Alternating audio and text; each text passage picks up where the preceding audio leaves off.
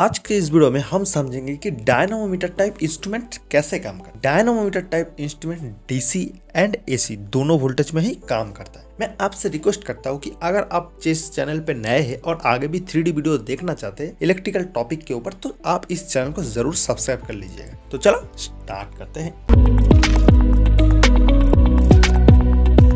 अगर हम इस डायनामोमीटर को खोलेंगे तो हमें इसके अंदर से कुछ देखने को मिलेगा, ठीक है? क्या क्या देखने को मिलेगा? एक पॉइंटर देखने को मिलेगा, एक स्केल देखने को मिलेगा, एक मूविंग कॉयल देखने को मिलेगा, एक फिक्स कॉयल हमें देखने को मिलेगा। यहाँ पर मैं आपको समझाने के लिए एक लोड का इस्तेमाल कर रहा हूँ।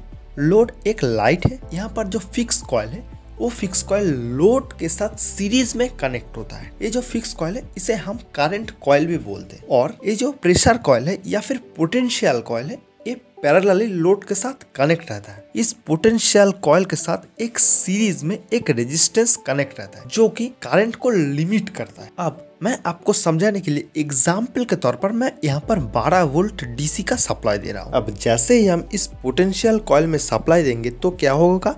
इस पोटेंशियल कॉयल के अंदर से एक करंट फ्लो होगा और वो करंट डिपेंड करेगा कि सप्लाई वोल्टेज कितना है और जो कॉयल का पोटेंशियल कॉयल का जो टोटल रेजिस्टेंस कितना है उसके ऊपर, ठीक है? यहाँ पर देखो वोल्टेज कांस्टेंट है, ठीक है?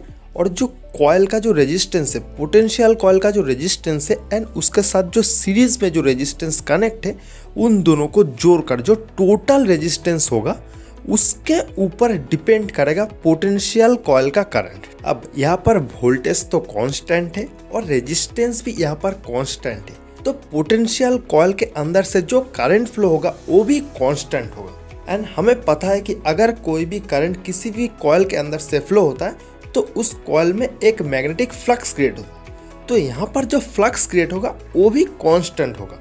पर सीरीज़ कॉयल में आप आते हैं करंट कॉयल में आप आते हैं, देखो, जो फिक्स कॉयल है। फिक्स कॉयल के अंदर से करंट फ्लो होगा, लेकिन वो करंट किसके ऊपर डिपेंड करेगा? वो करंट डिपेंड करेगा लोड के ऊपर। अगर हम लोड को बढ़ा देंगे तो क्या होगा?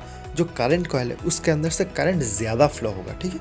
अगर करंट ज़्यादा फ्लो होगा तो क्या होगा? ये जो दो कॉयल है, इस दो कॉयल के अंदर जो फ्लक्स प्रोड्यूस होगा, वो भी ज़्यादा होगा। क्योंकि फ्लक्स डायरेक्टली प्रोपोर्शनल होता है करंट के साथ। अगर करंट बढ़ेगा तो फ्लक्स बढ़ेगा।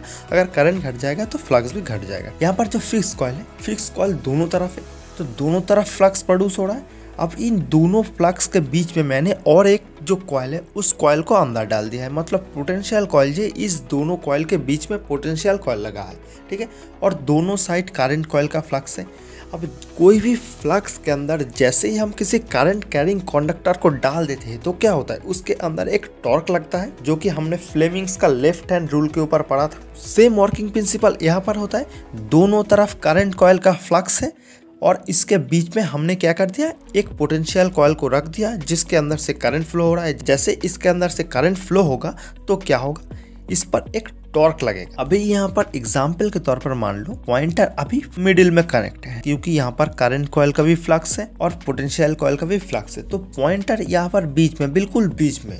अब मैं क्या करूँगा? लोड को बढ़ाऊँगा। एक लाइट लगा है मैं यहाँ पर दो लाइट लगा दूँगा। तो क्या होगा? करंट कॉल से करंट ज़्यादा फ्लो होगा। करंट कॉल से जैसे ही करंट ज़्यादा फ्लो होगा तो क्या होगा? यहाँ पर जो फिक्स कॉल है, इसके अंदर से करंट ज़्यादा फ्लो होने के कारण इसके ऊपर फ्लक्स भी ज़्यादा होगा। जैसे ही फ्लक्स ज़्यादा क्रिएट होगा तो क्या होगा? यहाँ पर जो पोटेंशियल कॉल है, इसके ऊपर टॉर्क ज़्यादा लगेगा। जैसे ही टॉर्क ज़्यादा लगेगा ये कांटा बीच में से हटकर और बढ़ जाएगा मतलब आगे की तरफ़ चला जाएगा। तो पॉइंटर जो है, जितना लोड बढ़ेगा, उसी के साथ साथ आगे जाएगा।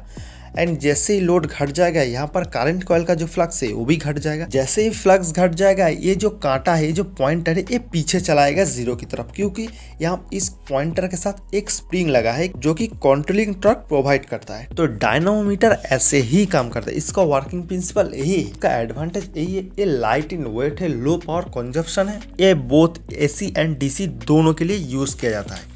लेकिन डिसएडवांटेज ये ये थोड़ा एक्सपेंसिव है। पीएमएमसी जो परमानेंट मैग्नेट मूविंग कॉयल का जो इंस्ट्रूमेंट है, उससे ज़्यादा महँगा है। अगर आपको लगता है कि ये चैनल आपके लिए सही है और आप ऐसे ही थ्री वीडियो देखना चाहते हो तो प्लीज़ इस चैनल को सब्सक्राइब कर लो, क्योंकि मैं आगे भी ऐसा वीडियो बनाऊँगा और इस चैनल पर अपलोड करूँगा।